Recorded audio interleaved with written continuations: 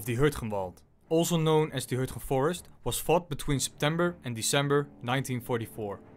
A four month violent and gruesome battle that the Americans rather don't want to talk about.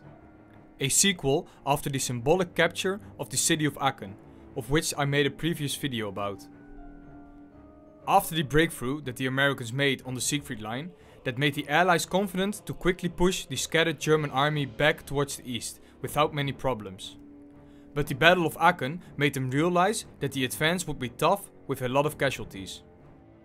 The Allies underestimated the strength and willingness from the German army to not give up, because the German propaganda still promised a full out victory. On the southeast of Aachen stands the very important Roer Dams. And the 1st US Army, who previously captured the city of Aachen, got the task to secure the dams and prevent the Germans from blowing it up. It was a serious and important task for the Americans, because if they failed, then the Germans could blow up the dams and a serious delay of weeks would have been caused on the Allied armies. The dams itself were holding up millions of gallons of water.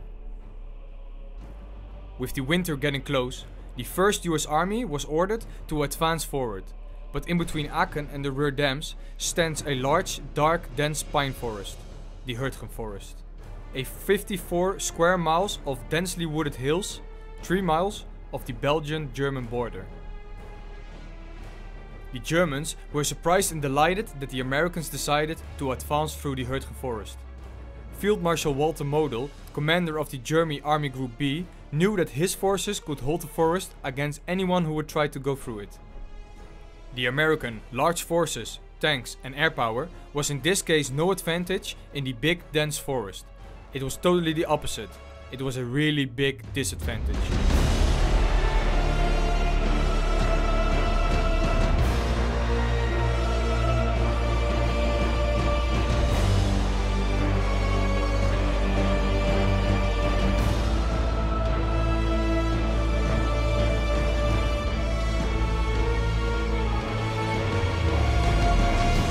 The Germans dug themselves in very well and were well prepared. Concealing infantry, mortars and artillery, the Germans had a big advantage over the Americans, even when the Americans outnumbered the Germans by 5 to 1. The Americans lost a lot of experienced men in previous battles, and they were replaced by green soldiers who never saw combat before, with terrible results. The Hurtgen Forest fell in two different corps areas, 5th Corps and 7th Corps. 14 US divisions would be involved in the fighting, switching between divisions at different times. The forest itself was defended by two infantry divisions of the Germans. Um, around 5,000 soldiers with a thousand uh, soldiers in reserve. And uh, because of the hills and all the dense forest, it was a very strong defense position for the Germans. In mid-September, while the fighting was still going on in Aachen, US divisions started probing the edge of the forest the attacks were repelled and pushed back. A handful of villages was captured, but there was still no clear path to go into the forest itself. The German defenses were just too strong for the Americans to break, because the forest and the large hills was a really good defense for the infantry, especially for the machine guns. And then, on the 5th of October, the US 39th and 60th Infantry Regiments of the 9th Infantry Division attacked towards the town of Schmidt. They cut off an important road from the Germans but suffered heavy casualties. The 60th 2nd Battalion lost two-thirds of its men in only one day, and the 39th got heavy resistance by machine gun fire and precise artillery. By the 16th of October, 11 days after the initial attack, the Americans only had gained ground of around 3000 yards into the forest itself, but lost around 4,500 men. The 9th Infantry Division was relieved on the 16th of October by the 28th Infantry Division, and the advance into the forest continued. The 28th Infantry Division began their main assault on the 2nd of November. The 28th got the task to capture the woods north of Germeter, but ended up pinned down by machine guns and a minefield only 300 meters from their starting position. They managed to only advance one mile within two days. Just imagine, the frustration and hopelessness that the Americans had in those two days, impacting the morale very heavily.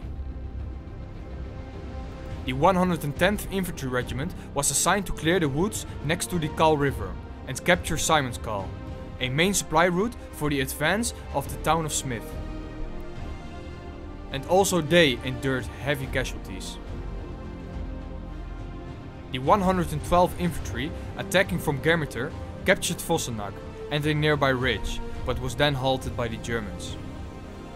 On the 3rd of November, a battalion of the 112th captured Schmidt, uh, cutting the German supply line in half.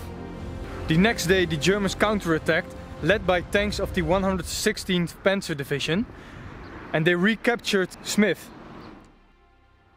The battalion of the 112th Infantry, who captured the town the day before the Germans counterattacked, got slaughtered by the Germans and a lot of them were taken prisoner by the Germans. So the Germans recaptured the town of Schmidt again. So in order to try and turn the tide, the 707th Tank Battalion moved forward a company of 8 M4 Shermans across the Kall Trail to support the 112th Infantry at Schmidt. But on their way to Schmidt, on the Kall Trail, 5 of them were knocked out.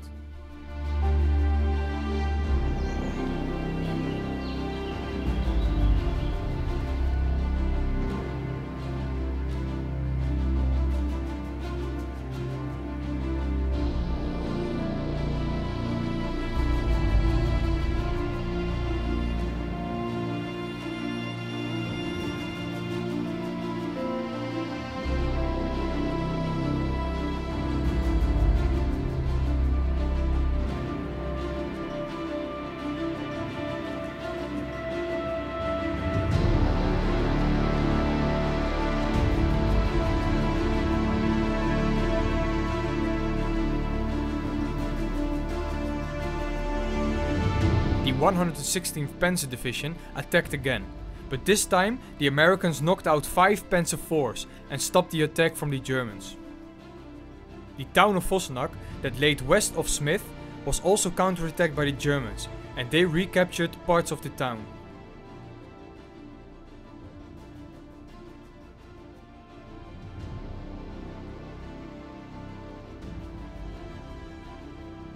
And on the 8th of November, the Americans withdrew from the town of Schmidt and also withdrew from the Kall Trail. So they went back on this road into Vossenack and phase 1 of the battle was over.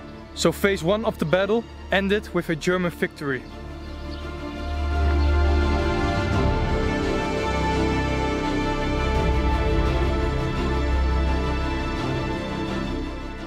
Phase 2, codenamed Operation Queen, launched a Allied thrust towards the Roer River. The US 4th Infantry Division was to clear the northern half of the Hurtgen forest, then go and capture the town of Hurtgen itself, and continue their advance north towards the outskirts of Düren to capture the important Roer dams. So where I'm standing right now, I'm standing in the town of Hurtgen and this town was strongly held by 6,500 German soldiers and 150 artillery cannons. And on the 16th of November, Operation Queen was launched.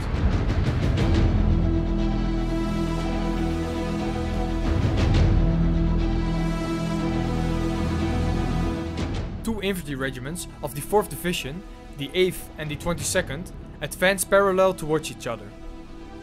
The 8th Infantry ran into heavy resistance at the town of Brandenberg, east of Hurtgen, while the 22nd Infantry was also beaten back by the Germans. Three days of fierce fighting cost the two regiments around 300 casualties, which is a insane amount of casualties. Engineers started blasting trails to get the tanks into the forest, while the Germans' reinforcements also arrived. And then, on the 21st of November, 5th Corps had a go to try and capture the whole Hurtgenwald forest.